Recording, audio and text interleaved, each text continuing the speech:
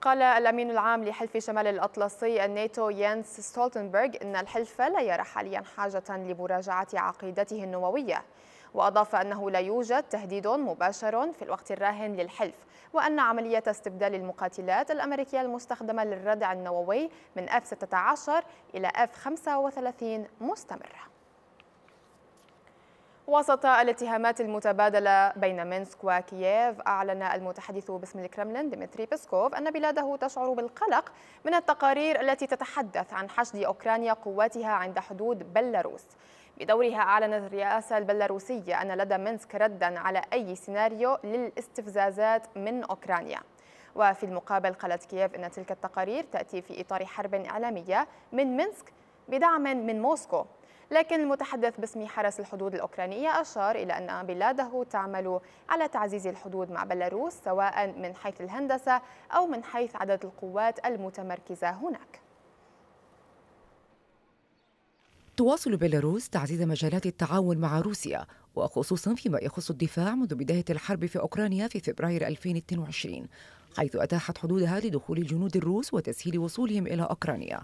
ويعتمد قطاع الدفاع البيلاروسي بشكل شبه كامل على العقود المبرمة مع موسكو مما يفسر التعاون الدفاعي طويل الأمد بين البلدين وغير المتأثر بضغوط خارجية. ويعمل البلدان كذلك على تحقيق التكامل بينهما في دولة الاتحاد والمعروفة أيضا بالدولة الاتحادية لروسيا وبيلاروس والذي من شأنه تعزيز التمركز العسكري الروسي في بيلاروس وتحسين التنسيق لاستجابة أكثر فعالية لأي تهديد تطرحه دول الجوار أو حلف شمال الأطلسي.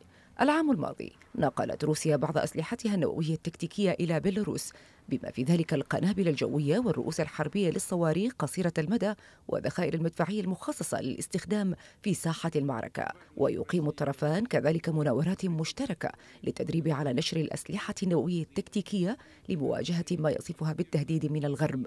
وتجري هذه المناورات في كل مرة على أراضي بيلاروسيا.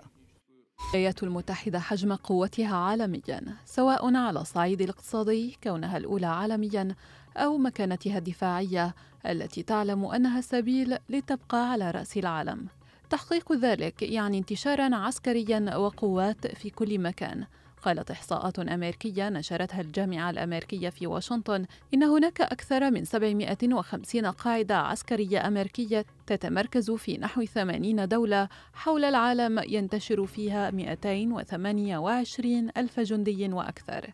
ومع ذلك يذهب التركيز حاليا إلى أوروبا التي تمتلك فيها الولايات المتحدة أكثر من 200 قاعدة عسكرية ينتشر فيها قرابة 100 ألف جندي أمريكي وفق أحدث الأرقام.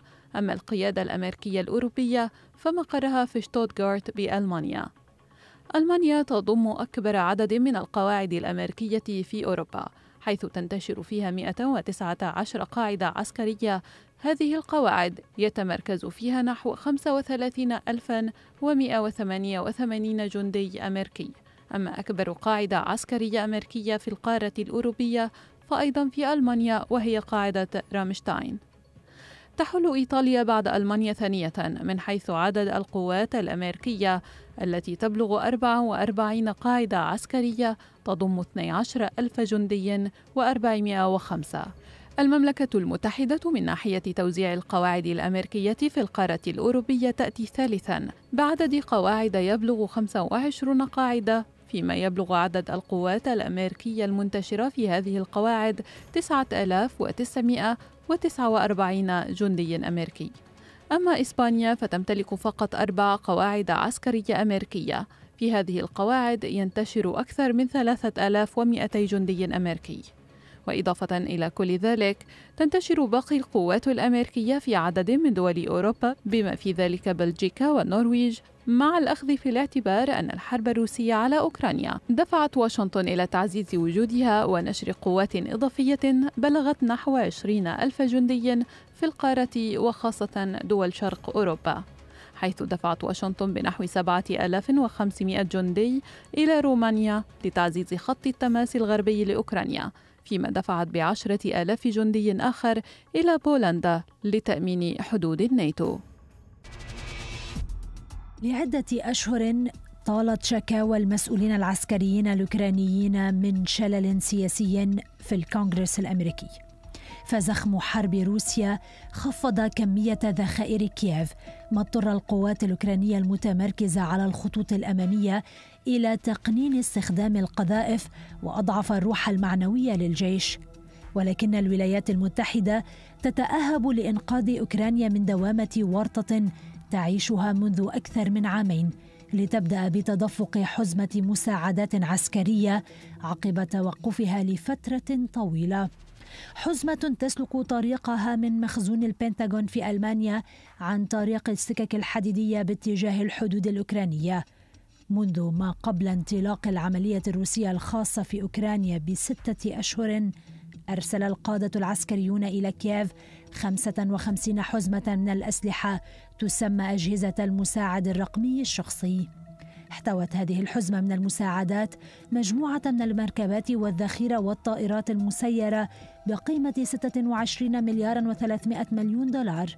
وحتى الثاني عشر من مارس العام الجاري شملت حزمة المساعدات صواريخ ستينجر المضادة للطائرات وصواريخ موجهة لمركبات الإطلاق من طراز هيمارس وصواريخ صغيرة مضادة للدبابات وذاخرة مدفعية عيار 155 ملم تتضمن قذائف عنقودية كما وافقت الإدارة الأمريكية على تقديم عدد صغير من الصواريخ الموجهة التي تطلق من الأرض إلى أطول مدى التي استخدمتها القوات الأوكرانية في أكتوبر الماضي لضرب قاعدتين جويتين في الأراضي التي تحتلها روسيا.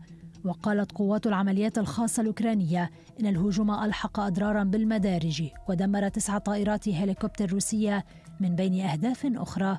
المسؤولون الأمريكيون وعدوا كييف أيضا بتوفير أنظمة ATACMS إضافية بمجرد تزويدها بصواريخ Precision Strike مع العلم أن متحدثا باسم شركة لوكهيد مارتن وهي الشركة المصنعة للصواريخ قال إن المؤسسة سلمت أول أربعة صواريخ Precision Strike للجيش الأمريكي العام الماضي. سلاح مدمر تقتنيه تسع دول فقط هي روسيا والولايات المتحدة وفرنسا وبريطانيا وكوريا الشمالية والصين وباكستان والهند وإسرائيل. منذ استخدام القنابل النووية للمرة الأولى في نهاية الحرب العالمية الثانية حددت معاهدة منع انتشار أسلحة الدمار الشامل الدول المسموح لها باقتناء هذه الترسانة. تتقاسم الدول النووية 13500 رأس إذ تمتلك موسكو وواشنطن وحدهما 90% من الترسانة النووية.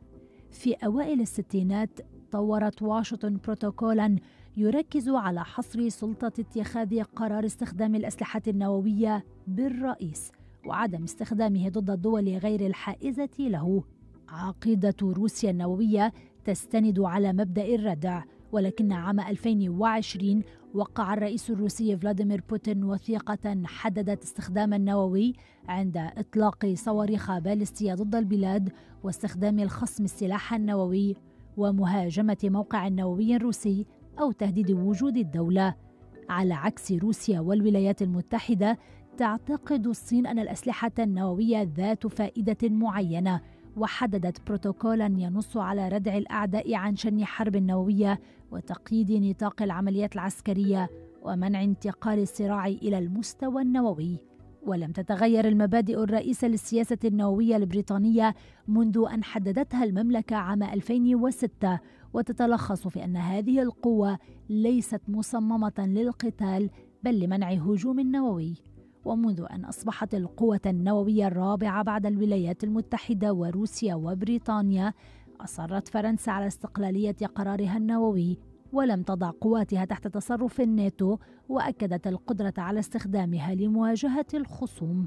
في يناير عام 2003 أصدرت الهند عقيدة رسمية تنص على أن القيادة السياسية المدنية تتخذ قرار استخدام النووي للرد على أي هجمات تستخدم أسلحة كيماوية وبيولوجية. الجارة باكستان تهدف عقيدتها لردع أي عدوان هندي نووي محتمل ومنع انتصار نيودلهي في حال نشوب حرب.